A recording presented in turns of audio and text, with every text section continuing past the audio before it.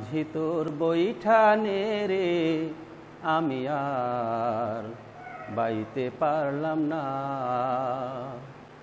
সারা জীবন উজান বাইলা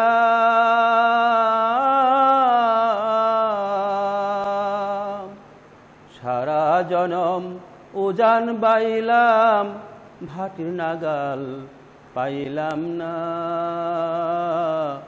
আমি আর বাইতে পারলাম না। মন মাঝি তোর বৈঠানে রে, আমি আর বাইতে পারলাম না। আসসালামু আলাইকুম প্রিয় শিক্ষার্থীবৃন্দ। আশা করছি সবাই তোমরা ভালো আছো এবং নিয়মিত লেখাপড়া করছ। দীর্ঘদিন আমরা ক্লাসে একত্রে আসতে পারছি না, তোমাদের নিয়ে ক্লাস করতে পারছি না। তারপরও আমরা অনলাইন ক্লাস চালিয়ে যাচ্ছি এবং আশাবাদী আমরা তোমরা ক্লাসগুলো দেখছ। এবং সেক্ষেত্রে আমাদের স্লোগান, আমার ঘরে আমার শিক্ষক যথেষ্ট গুরুত্ব বহন করে। কারণ তোমাদের প্রত্যেকের ঘরেই, প্রত্যেকের কাছেই এখন আমরা ভার্চুয়ালভাবে পৌঁছে গেছি। আমরা তোমাদের সাথে ক্লাস করছি, কথা বলছি। তো প্রিয় শিক্ষার্থীবৃন্দ দেখো দেখো, দেখি বোর্ডে কয়েকটা ছবি দেখতে পাচ্ছ কিনা। এই দেখো কী হতে পারে? আমার আজকের ক্লাস হবে নবম, দশম শ্রেণির বাংলা প্রথম পত্রের একটা প্রবন্ধ নিয়ে। এতক্ষণ নিশ্চয়ই তোমরা বুঝতে পেরেছ সেই প্রবন্ধটির নাম কি। হ্যাঁ শিক্ষার্থীবৃন্দ, আমি আজ তোমাদের সাথে ডক্টর মোহাম্মদ শহীদুল্লাহর লিখিত প্রবন্ধ পল্লী সাহিত্য নিয়ে আলোচনা করব। তো প্রিয় শিক্ষার্থীবৃন্দ, আমরা আগে এই পল্লী সাহিত্য সম্পর্কে একটু জেনে নিই, বা এটা কোথেকে এলো, এই লেখাটা লেখক কখন লিখলেন, কীভাবে লিখলেন, সে সম্পর্কে একটু জানবার চেষ্টা করব।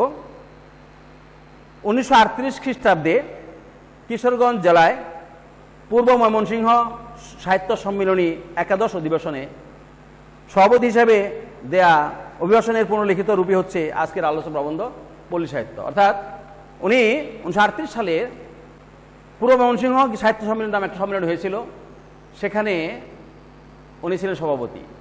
আর সেই সভাপতি হিসাবে জানো যে একটা বক্তব্য দেয়া লাগে সভাপতির বক্তব্যে উনি যে কথাগুলো বলেছিলেন, সেটাকে আবার উনি আবার পরবর্তী একটু মডিফাই করেছেন, একটু হয়তো বা কোথাও কম বেশি করেছেন বা ওটা হয়তো গুছিয়ে লিখেছেন। সেটি হচ্ছে আমাদের আজকের আলোচিত, আলোচ্য প্রবন্ধ, পল্লী সাহিত্য। পল্লী সাহিত্য আমরা আজকের এই প্রবন্ধটা শেখার পরে, পাঠ করার পরে আমরা কি শিখতে পারব? পল্লী সাহিত্যের স্বরূপ ব্যাখ্যা করতে পারব। অর্থাৎ পল্লী সাহিত্য কাকে বলে? কাকে পল্লী সাহিত্য বলতে পারি? এটা ব্যাখ্যা করতে পারব।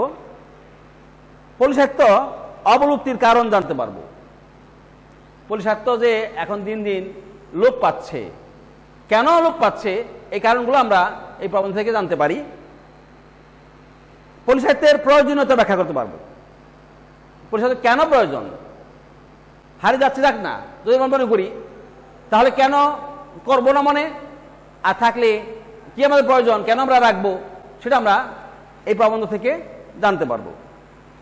পল্লী সাহিত্য সংরক্ষণের উপায় বের করতে পারব। অর্থাৎ আমরা এই পল্লী সাহিত্যকে যে সংরক্ষণ করব কীভাবে করতে পারি? সেই পথও ডক্টর মোহাম্মদ সদুল্লাহ আমাদের এই প্রবন্ধের মাধ্যমে জানিয়ে দিয়েছেন, সেগুলো আমরা জানতে পারব। তো প্রিয় শিক্ষার্থীবৃন্দ, আগেই আমি একটু আলোকপাত করতে চাই, পল্লী সাহিত্য আসলে কি? পল্লী। পল্লী কি?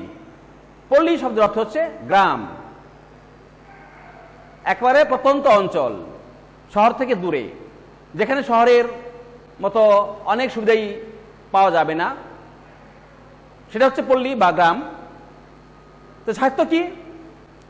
পল্লীর জনগণ, অধিবাসী, তাদের সুখ, দুঃখ, আনন্দ, বেদনা নিয়ে যে সাহিত্য রচিত হয়, রচনা করা হয়, তাই আসলে পল্লী সাহিত্য আমরা এই মুহূর্তে দু সাহিত্যিকের নাম বলতে পারি, কবি নাম বলতে পারি।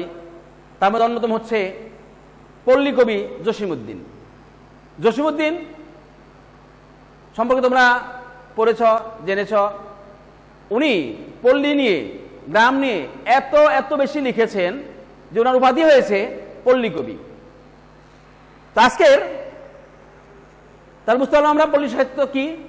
পল্লীর জনগণের আনন্দ বেদনা তাদের হাসি, দুঃখ, কান্না, এসব নিয়ে যে সাহিত্য রচনা করা হয়, হতে পারে কবিতা, হতে পারে গদ্য, তাই হচ্ছে পল্লী সাহিত্য। তা আমরা প্রথমে আজকের প্রবন্ধের প্রাবন্ধিক ডক্টর মোহাম্মদ শহীদুল্লাহ সম্পর্কে কিছুটা আলোকপাত করতে চাই। ডক্টর মোহাম্মদ শহীদুল্লাহ ছিলেন উপমহাদেশের সর্বশ্রেষ্ঠ ভাষাবিদ ভাষা বিজ্ঞানী গবেষক ও শিক্ষাবিদ। ভাষা ও ভাষাতত্ত্বে ছিল তার অগাধ পাণ্ডিত্য। ওনার পিতার নাম ছিল মফিজুদ্দিন আহমদ। আমরা একটু দেখে নিই আজকের আলোচ্য প্রবন্ধ পল্লী সাহিত্য।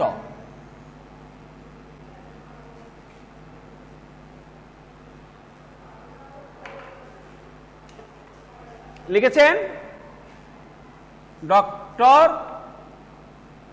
মোহাম্মদ শহীদুল্লাহ।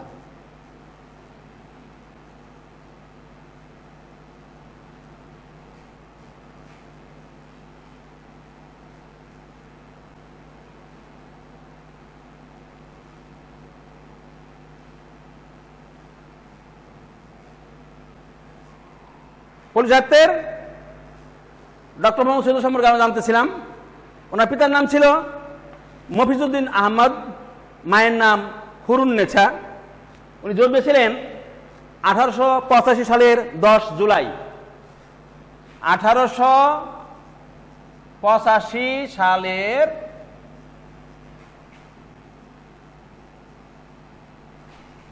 দশ জুলাই উনি জন্মেছিলেন।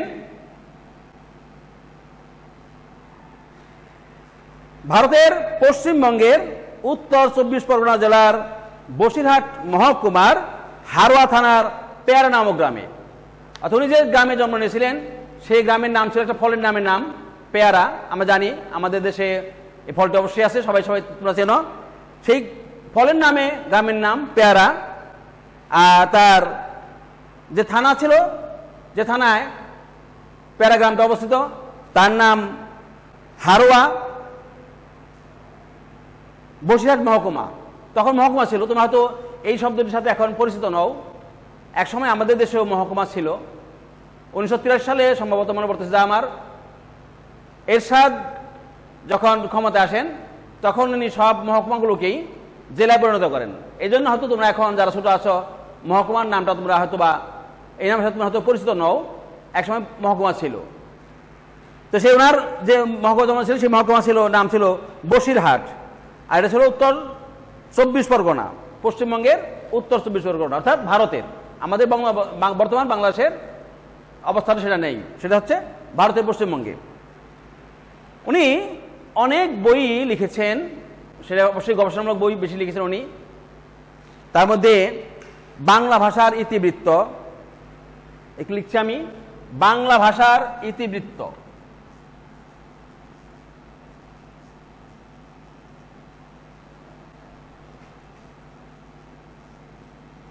বুঝতে পারছি না, আমি বুঝতে পারতেছি যে উনি বাংলা ভাষা নিয়ে, ইতিহাস নিয়ে লিখেছেন। এর নাম বাংলা ভাষার ইতিবৃত্ত। আরও লিখেছেন, বাংলা সাহিত্যের কথা। বাংলা সাহিত্যের কথা। এটাও একটা গবেষণামূলক বই। বাংলা সাহিত্যের কথা। তার মানে এখানে উনি আমাদের যে বাংলাদেশের বাংলা ভাষা, এই বাংলা ভাষাতে একটা সাহিত্য রচিত হয়, সাহিত্য রচনা করা হয়। সেই বাংলা সাহিত্য বাংলা সাহিত্যের কথা উনি গবেষণামূলক রচনা, এটা ওনার লিখেছেন। এটা হচ্ছে এক খণ্ড নয়, এটা দু খণ্ডে রচনা করেছেন উনি। এরপর লিখেছেন বাংলা ভাষার ব্যাকরণ। অর্থাৎ আমরা যে আজকে ভাষার ব্যাকরণ জানি, পড়ি, এই ব্যাকরণ, বাংলা ব্যাকরণও উনি সুন্দর করে আমার জন্য লিখেছেন। বাংলা ভাষার ব্যাকরণ।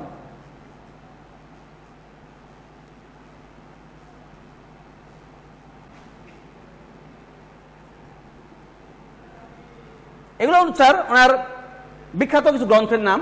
এছাড়াও আরও অনেক গ্রন্থ উনি রচনা করেছেন। কিছু কিছু উনি সম্পাদনাও করেছেন।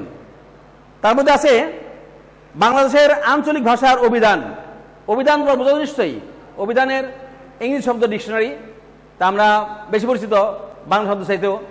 তো এই অভিধান আঞ্চলিক ভাষার যে অভিধানটা আমরা জানি আমাদের এই বাংলাদেশ, যদিও একটা দেশ, এক এক অঞ্চল আমরা একইভাবে কথা বলি। আমরা ঢাকার মানুষ, যেভাবে কথা বলি, চট্টগ্রামে সেরকম তাদের ভাষা নয়, পার্থক্য আছে। নোয়াখালী গেলে আরেক রকমের, সিলেট যদি যাই, সেখানে দেখবে আবার ঠিক ভিন্ন রকমের। অর্থাৎ এমন কিছু শব্দ আছে, এমন কিছু কথা আছে, যা আমরা এক দেশে সাদরে গ্রহণ করি, আবার অন্য দেশে হয় সেটাকে গালি হিসেবে বিবেচনা করি। তো এই এগুলো উনি সংগ্রহ করেছেন সারা বাংলাদেশ থেকে। এমন পশ্চিমবঙ্গের ভারত, সেখান থেকেও। এবং সেগুলোর একটা অভিধান উনি রচনা করেছেন যে কোন এলাকার কোন শব্দের কীরকম বলা হয়।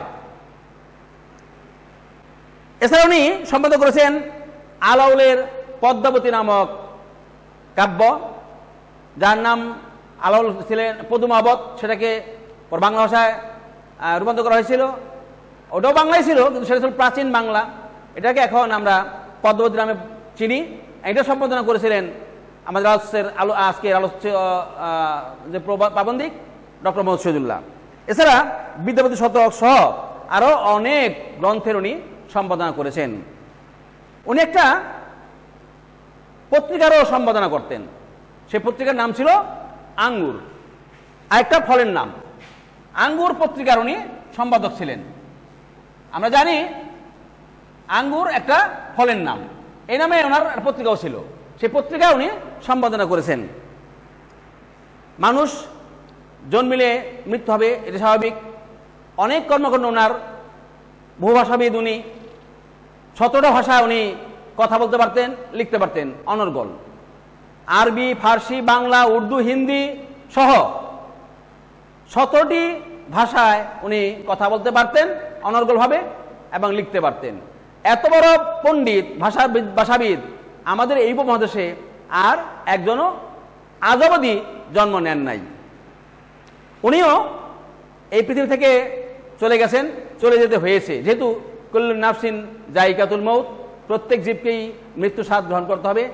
ওনাকেও তাই মৃত্যু গ্রহণ করতে হয়েছে। উনিও উনিশশো উনসত্তর সালে আমাদের এই দেশ স্বাধীন হওয়ার দুই বছর আগে ঢাকায় মৃত্যুবরণ করেন। তখন উনি আর পশ্চিমবঙ্গে ছিলেন না। আমরা ওনার জীবনীটা সুযোগ পেলে অন্য কোনো সময় পড়ব, জানব। উনি পরবর্তীতে বাংলাদেশে বসবাস করেন, বাংলাদেশে আসেন। ঢাকা বিশ্ববিদ্যালয়েও উনি একজন অধ্যাপক ছিলেন। এছাড়া আরও অনেক কর্মকাণ্ড উনি বাংলাদেশে করেছেন। পরবর্তী ওনার শেষ নিঃশ্বাস ত্যাগ করেন উনি আমাদের এই বাংলাদেশের ঢাকাতেই। আজকে আমাদের যে প্রবন্ধটা, এই প্রবন্ধটা পুরোপুরি পড়তে গেলে যে সময়ের প্রয়োজন সেই সময়টা আমরা এখানে দিতে পারব না। এই আমি সবটুকু প্রবন্ধ পড়ব না। আমি তোমাদের জন্য কিছু নৈর্ব্যক্তিক প্রশ্ন নিয়ে এসেছি। সেই নৈর্ব্যক্তিক প্রশ্নগুলো আলোচনা করব এবং একটি সৃজনশীল প্রশ্ন তোমাদের বাড়ির কাজ দেব। আমি প্রথমে নৈর্ব্যক্তিক প্রশ্নগুলো একটু আলোকপাত করতে চাই এবং সেইটা করতে গিয়ে আজকের এই প্রবন্ধের যদি কিছু আলোচনা করতে প্রয়োজন হয়, সেটা অবশ্যই করব। তবে আমরা এখন নৈর্ব্যক্তিক প্রশ্ন দিকে যাব। তোমাদেরকে আগে আমি একটু দেখিয়ে নিই, যে যে প্রশ্ন আমি দেবো তোমাদেরকে, দেখো একটু।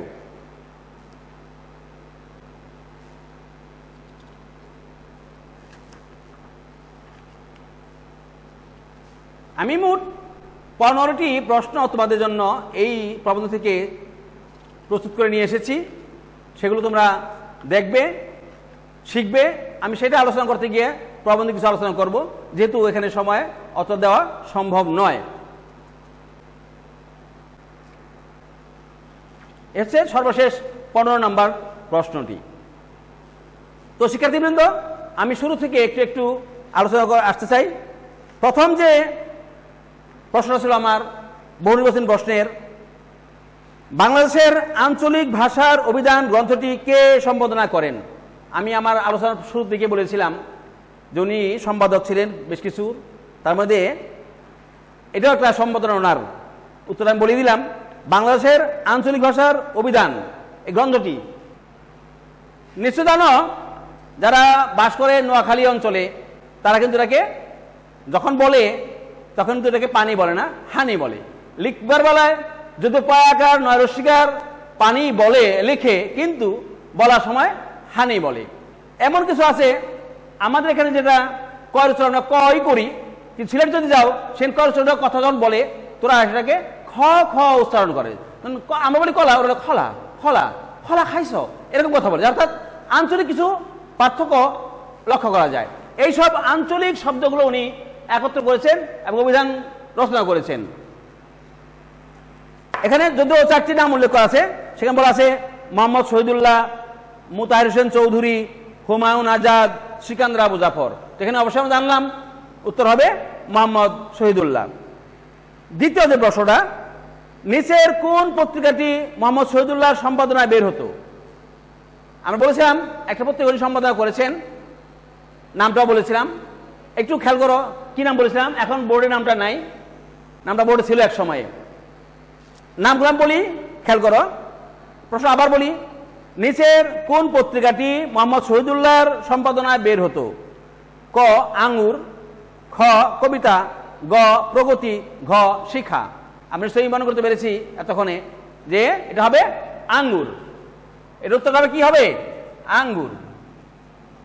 মানে আঙ্গুর নামের একটা ফল, আবার আঙ্গুর নামের ছিল ওনার একটি পত্রিকা যা উনি সম্পাদনা করতেন। তিন নম্বর প্রশ্ন প্রোলেটারিয়েট সাহিত্য বলতে লেখক কোন ধরনের সাহিত্য বোঝাতে চেয়েছেন? Proletariat P R O L E T A R E A T proletariat proletariat সাহিত্য বলতে লেখক কোন ধরনের সাহিত্যকে বোঝাতে চেয়েছেন? এইটুকু আমরা একটু প্রবন্ধ থেকে লক্ষ্য করব। তোমরা তোমাদের বইয়ের একান্ন পৃষ্ঠায় যাও। বইয়ের একান্ন পৃষ্ঠার শেষের দিকে দেখো, বলা আছে ইউরোপ, আমেরিকায় আজ এই প্রোলেটারিয়েট সাহিত্য ক্রমে আদরের আসন পাচ্ছে, আমাদের দেশেও পাবে। উনি আশাবাদী, আমাদের দেশেও এটা আদর পাবে। এখানেই প্রোলেটারিয়েট শব্দটার মধ্যে আছে, এ সম্পর্কে বলাও আছে। তোমরা এটা একটু অংশ পড়ে নাও, দেখতে পাবে। তো আমি এখন তোমাদের উত্তরগুলো একবার অপশনগুলো বলে দিচ্ছি। এটা হচ্ছে, কি বলতে চেয়েছেন প্রাবন্ধিক? ভ্রমণ কাহিনী? অত্যাচারিত শ্রমজীবী দুঃখী মানুষের সাহিত্য, গ্রামীণ জীবনের ইতিহাস, মুক্তিযুদ্ধ অবলম্বনে প্রামাণ্য চিত্র। নিশ্চয় তোমরা এতক্ষণে মনে করতে পেরেছ, পড়ে ফেলেছ, এটা হবে আসলে গ্রামীণ জীবন ইতিহাস। অর্থাৎ গ্রামে মানুষের যে ইতিহাস, তাদের যে জীবন বৈচিত্র্য, সেগুলোই উনি বোঝাতে চেয়েছেন প্রোটারিয়েট সাহিত্য সম্পদ, শব্দটি ব্যবহার করে। চার নম্বর, প্রাচীন ভারতের প্রখ্যাত মহিলা জ্যোতিষ মদিনা বিবি, রোমা রোলা, মহুয়া খনা, জ্যোতিষী। বলা আছে কিন্তু প্রাচীন ভারতের প্রখ্যাত মহিলা জ্যোতিষী কে? এটা আমাদের দেশে কিন্তু বলে থাকি, অমুকের বছরে, নাম দিয়ে বলি। সেটা কি মনে করতে পারতেছ? তোমাদের এই প্রবন্ধে আছে, এটা হবে আসলে খনা। খনা নামের একজন মহিলা ছিলেন, জ্যোতিষী ছিলেন। যিনি অনেক ভবিষ্যৎবাণী করেছেন বা তার অভিজ্ঞতা থেকে বলেছেন, যেগুলো আমরা এখনও মেনে থাকি। যেমন কলা রুয়ে না কেটো পাত তাতেই কাপড়, তাতেই ভাত, এটা একটা বচন প্রবত প্রবচন এছাড়া খনার অনেকগুলো বচন আছে, যেগুলো বিশেষ করে হাল চাষ সম্পর্কে উনি অনেক বচন দিয়েছেন, বলেছেন। উনি ছিলেন এইরকম একজন প্রখ্যাত জ্যোতিষী, নাম খনা আমি আবার বলছি। প্রাচীন ভারতের প্রখ্যাত মহিলা জ্যোতিষী ছিলেন খনা পাঁচ নম্বর প্রশ্ন, নাচতে না জানলে উঠান বাঁকা। যদি কোনো মানুষ কোনো কাজ ঠিক মতো না জানে, সে অন্যের দোষ খুঁজে। ভালো গাইতে না পারে, সে বাদ্যযন্ত্রের দোষ খুঁজে। ভালো নাচতে না পারে, সে উঠানের দোষ খুঁজে। ঠিক তেমনি এখানে এরকম একটা আসলে কি? এটা একটা প্রবাদ। ছয় নম্বর আমাদের আজ দরকার হয়েছে শহুরে সাহিত্যের বালাখানার পাশে গেও সাহিত্যের জোড়া বাংলা ঘর তুলতে। এই মন্তব্যের মধ্য দিয়ে লেখক কোনটিকে গুরুত্ব দিয়েছেন? বিদেশি সাহিত্য? পল্লী সাহিত্য? শহুরে সাহিত্য? নাকি পল্লী ও শহরে উপসাহিত্য? আসলে আমাদের এখন দরকার হচ্ছে ঘ নাম্বারটা পল্লী ও শহরে উভয় সাহিত্য অর্থাৎ আমাদের যেমন প্রয়োজন পল্লী সাহিত্য, তেমনি শহর সাহিত্যকে আমরা বাদ দিয়েও পারি না। যদিও এখন আমাদের এই পল্লীতেও অনেক সময় পল্লীর অনেক কিছু দেখতে পাচ্ছি না। এক সময়ে আমাদের দেশে বর্ষা এলে বিশেষ করে দেখা যেত, নৌকায় চলতে হতো, কোনো রাস্তাঘাট ছিল না, গাড়ি ঘোড়া চলতো না, বা ছিলই না, বলা ছিলই না, নৌকা চলতে হতো। তখন এই নৌকা নিয়ে মানুষ গান গাইতো, বিশেষ করে ভাটিয়ালি গান গাইতো। যেমন ওখানে গান আছে, নায়ারে, নায়ের বাদাম তুইলা কোন দেশে যাও চইলা। এই যে নায়েরে, নায়ের বাদাম তুইলা কোন দেশে যাও চইলা? এখন তো এই গানটা আমরা শুনি, অনেকেই বুঝতে পারব না। নাইয়া কি? নায়ের বাদাম কি? নাও কি? নাও নাইয়া নায়ের বাদাম। এই শব্দগুলো আমাদের কাছে অনেক আছে। এখন শ্রোতা তোমরা আছে অনেক আছে একেবারেই নতুন শব্দ। অথচ এক সময় এটি ছিল আমাদের যে প্রধান অবলম্বন। বর্ষাকালে এটি ছিল, নৌকাই ছিল আমাদের প্রধান অবলম্বন। নৌকা দিয়েই চলাচল করতে হতো। একবার থেকে আরেকবার যেতেও আমরা নৌকা ছাড়া যেতে পারতাম না। বলে যায় দেখো রোমারোলা কার সৌন্দর্যে মুগ্ধ হয়েছিলেন? এখানে আমরা সংক্ষেপ সূত্র বলে যাই, মদিনা বিবির। যা খ্রিস্ট গ্রন্থের রচয়িতাকে Romain Rolland, Shakespeare, Byron, Milton, তোমরা এগুলো পাবে তোমাদের পাঠ্যের মধ্যে। পড়লে এগুলো আশা করি তোমরা এগুলো পড়ে জেনে নেবে।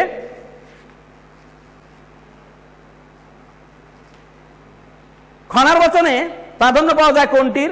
পাপ পুণ্যের আয় ব্যয়ের চরিত্রের, কৃষি ও জলবায়ুর। আমরা আগে আলোচনা করেছি খনার বচনে কৃষি এবং জলবায়ু সম্পর্কেই বেশি করে পাওয়া যায়। উনি এগুলো বেশি লিখেছেন।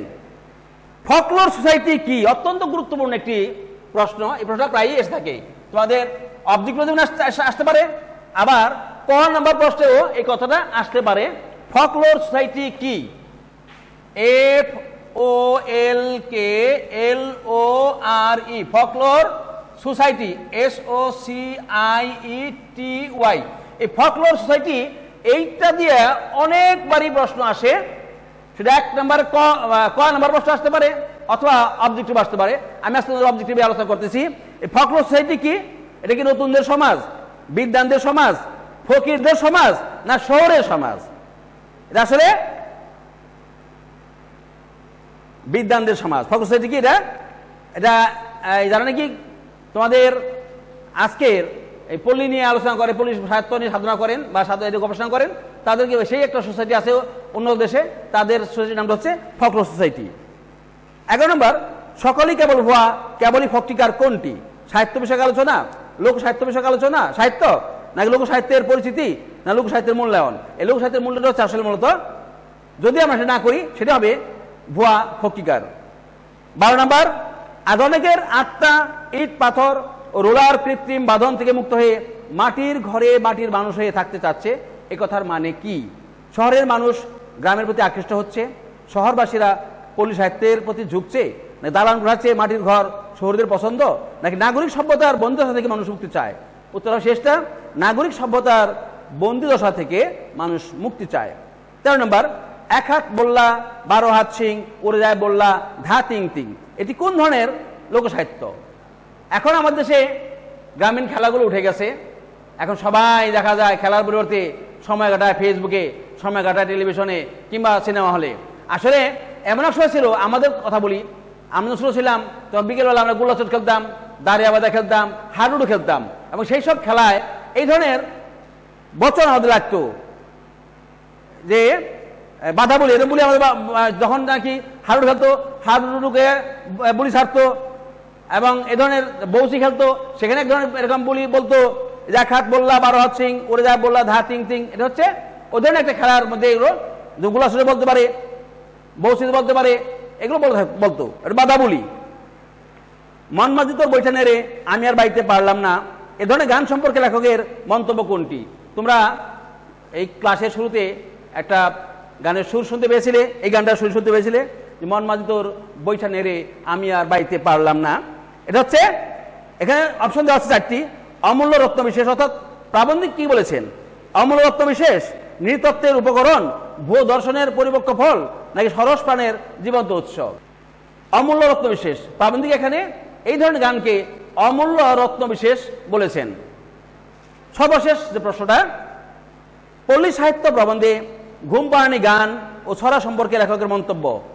এগুলো সরস প্রাণের জীবন্ত উৎস, কারণ ভাষা ও ছন্দে প্রাণবন্ত, অর্থ ও তাৎপর্যপূর্ণ, বিষয়বস্তু বৈচিত্র্যপূর্ণ। নিচের কোনটি সঠিক? ক, এক ও দুই, খ, দুই ও তিন, গ, এক ও তিন, ঘ, এক, দুই, তিন। এটা তো হবে আসলে খ নম্বরটা, দুই ও তিন, অর্থাৎ অর্থ ও তাৎপর্যপূর্ণ, বিষয়বস্তু বৈচিত্র্যপূর্ণ। তো প্রিয় শিক্ষার্থীবৃন্দ, এই ছিল আমার আজকের পনেরোটি অবজেক্টিভ নিয়ে তোমাদের সাথে আলোচনা। আমি এবার তোমাদের বাড়ি গাছ দিয়ে দেবো। বাড়ি গাছটা লিখতে গেলে সময় লাগবে, লিখব না, তোমরা আমার এখান থেকে দেখে নাও। আমি দেখাচ্ছি, তোমরা দেখে নাও, এবং পরে আমি তোমাদের পরে শোনাবো। নিশ্চয়ই দেখছ, আমি এবার বলি বাড়ির কাজটা কি তোমাদের? বাউল সম্রাট শাহ আব্দুল করিম, তিনি লিখেছিলেন কোন মেস্তরি বা নাও বানাইছে, কেমন দেখা যায়? তোমরা হয়তো শাহ আব্দুল করিম সম্পর্কে জানতে হবে উনি অনেক বাউল গান লিখেছেন, বিখ্যাত একজন বাউল। বিপ্লবী লোকশিল্পীর গানের কথা ও সুরের আবেশ আচ্ছন্ন করেছে নতুন প্রজন্মকেও। এটি লক্ষ্য করে বিশ্ববিদ্যালয় পড়ুয়া ছাত্র মুন্না শাহ আব্দুল করিমের গানগুলো যেন সঠিক সুরে ও কথায় গাওয়া হয়, তার জন্য গবেষণার পরিকল্পনা গ্রহণ করে। এবার আমার প্রশ্নগুলো, ময়মনসিংহ গীতিকার সংগ্রাহক কে খ, নচেত এ সকল কেবলই ভুয়া কেবলই ভক্তিকার লেখক এ কথা কেন বলেছেন? গ, উদ্দীপকে পল্লী সাহিত্য প্রবন্ধে উল্লিখিত পল্লী সাহিত্যের কোন উপাদানটির ইঙ্গিত রয়েছে? ব্যাখ্যা করো। ঘ, উদ্দীপকের মুন্নার উদ্যোগ এবং পল্লী সাহিত্য প্রবন্ধে উল্লেখিত প্রাবন্ধিকের আকাঙ্ক্ষা এক ও অভিন্ন মন্তব্যটি বিশ্লেষণ করো। শিক্ষার্থীবৃন্দ, এই ছিল আজকে তোমাদের জন্য আমার আলোচনা। আশা করছি তোমরা ভালো দেখবে এবং এটা আরও বারবার পড়বে। প্রবন্ধ বারবার পড়লে পরেই আমার আলোচনার সাথে তোমাদের মিলে যাবে এবং সেটা তোমাদের মনে গেঁথে যাবে। তো ধন্যবাদ সবাইকে। আশা করছি তুমি ভালো থাকবে। আবার কখনো অন্য একটা ক্লাস নিয়ে আসব। সে পর্যন্ত ভালো থাকো। ধন্যবাদ সবাইকে। আসসালামু আলাইকুম রহমতুল্লাহ।